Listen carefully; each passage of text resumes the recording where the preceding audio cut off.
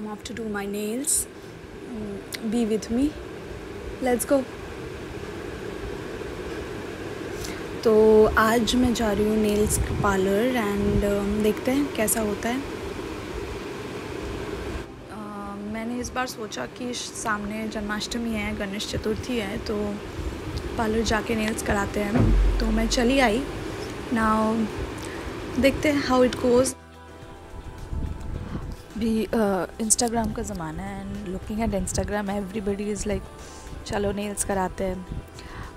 तो मेरे भी मन में ख्याल आया कि हाँ नेल्स कराया जाए। तो first off they started by prepping my nails जो भी इन्होंने किया क्यूटिकल्स पुश करना, जो भी स्किन्स होते हैं एक्स्ट्रा वो साफ़ कर देना एंड देन ग्लू लगा के वो फॉल्स नेल्स जो भी है एक्रेनिक एक्रेलिक नेल्स होते हैं, वो चिपकाना। Now till this point I was happily enjoying it कि हाँ चलो बहुत बढ़िया लग रहा है। And they were constantly asking कि कितना लेंथ रखना है, क्या है।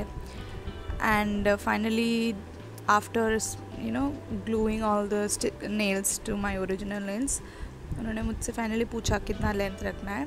एंड उन्होंने फिर एक कोट अप्लाई किया बट इस मोमेंट पे लिटरली लाइक क्या बोलते उसको? इन शॉक क्योंकि आई हैव ऑलवेज सीन कि you know they put the nails after ये ग्लू अप्लाई करते हैं एंड पहला कोट अप्लाई करते हैं they आक्स to put the nails in this thing जहाँ पे यूवी लाइट मिलता है।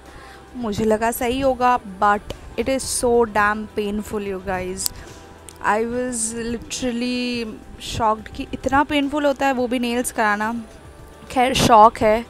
शौक के लिए कुछ भी। I am sure girls will agree तो फिर हमने ये किया एंड फाइनली ऑम्ब्रे इफ़ेक्ट किया एंड थोड़ा सा glitter on the nail on the ring finger and आप देख सकते हो फाइनली मेरा नेल्स का लुक कैसा आया है।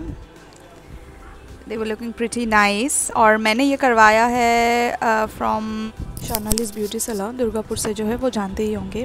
तो कैसा लगा ये? Details will be in the description and don't forget to like share and subscribe and I will see in the next video bye